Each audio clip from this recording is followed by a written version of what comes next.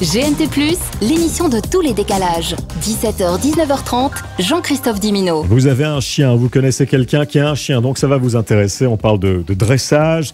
Alors, il a lancé une web TV qui s'appelle euh, dressemonchien.com. Enfin, il y a des vidéos sur, sur YouTube et puis un, un site internet. Nous sommes avec euh, donc Eric Trampson, qui est éducateur canin. Bonsoir Eric, merci d'être avec nous. Bonjour à tous les auditeurs de Radio Monaco et Merci. merci, de m'accueillir sur votre antenne. Là, je vous en prie pour nous euh, prodiguer quelques conseils élémentaires. Vous êtes Bien donc sûr, dresseur de, de, de chiens. De chiens. Euh, première chose qu'on qu'on peut voir euh, dans la rue, comme ça, même si on n'est pas nous-mêmes propriétaires de- d'animal, euh, deux chiens qui se disputent. euh, ou qui, euh, qui s'aboient dessus et qui, euh, qui, qui manquent de se- de, de s'égorger. Euh, Qu'est-ce qu'il faut faire? Il faut les laisser? Il faut tirer la laisse? Euh, Réflexe de base.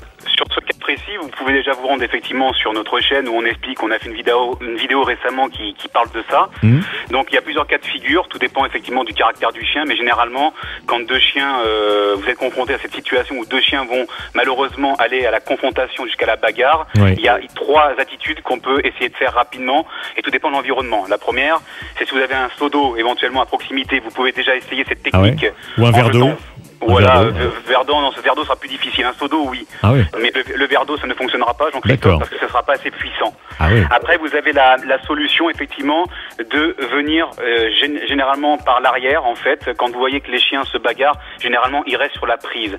À ce moment-là, vous pouvez, dans un cas extrême, arriver par en dessous en tenant bien le chien et faire un système en passant par le cou pour empêcher et me maintenir, une, en fait, faire un, un système d'étranglement, mais pas du tout violent euh, à ce Ah niveau-là. ouais, ouais, là, faut, là, faut être un peu euh, quand même euh, habile hein, euh, en la matière. Alors ça c'est la méthode ra- radicale, mais vous pouvez aussi après faire aussi arriver chaque propriétaire par derrière et soulever le chien vers le pour lui faire en fait une désorientation Ah, en tirant les pattes arrière en le levant du sol. Et Ouais, là généralement ça. les chiens ils décrochent. D'accord. Et puis même chose, c'est souvent les plus petits qui attaquent les plus gros. Hein. Non, ça c'est pas forcément Non. vrai. Euh, il y a- tous les chiens sont potentiellement dit, euh, euh, on peut dire euh, agressifs ou pas. Tout dépend en fait de, de l'éducation et si effectivement la, la la familiarisation du chien auprès de la famille a bien été respectée. Hmm, D'accord. Euh, ça veut dire qu'il faut vraiment passer par la phase du, du dressage quand on achète un, un, un petit chiot, par exemple, dans une animalerie. euh, on peut se, se passer de cette étape importante, surtout si c'est un, un chien de race réputé, euh, je sais pas moi, agressif ou euh, voilà les molosses, par exemple.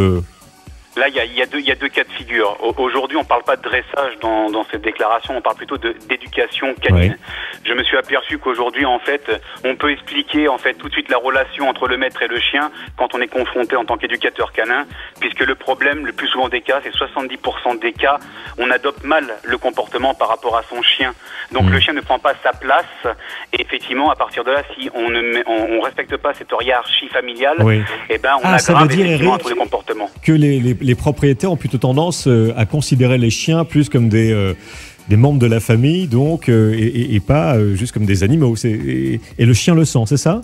Pas du tout, c'est oui et non. Dans- en fait, le chien est un membre à part entière de la famille. Il ne Ouais. faut pas l'oublier. Bah oui, Mais sûr. par contre, ce n'est pas un enfant. Donc il faut adapter des Ne pas règles. infantiliser les, les- les- les chiens, les animaux, quoi. C'est pas pas tout à fait comme ça. Il faut vraiment se mettre en, en tant que, que leader et pour que le chien puisse vous respecter et qu'il prenne sa place. Sinon, on va être confronté à un débordement puisque le chien va venir prendre votre place.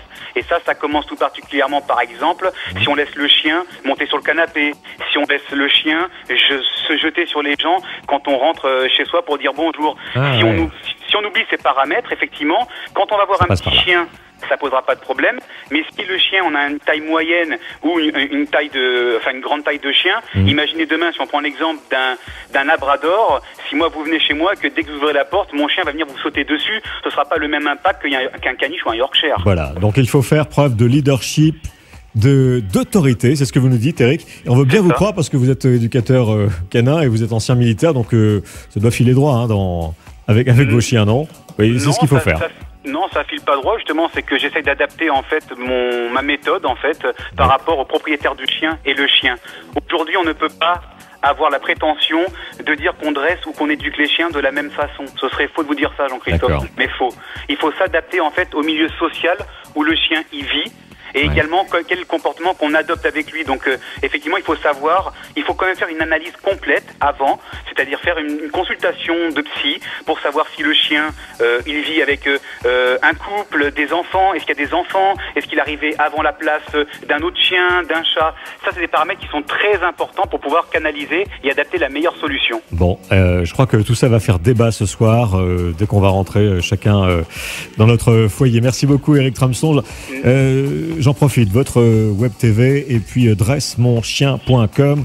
Alors, Euh, que- dressemonchien.com, c'est sur la chaîne YouTube. Il faut aller sur YouTube et, claquer D'accord. tout- et, et- et cliquer tout simplement Eric Tramson, dresseur de chiens. Bah voilà. Et là, vous allez tomber sur la chaîne.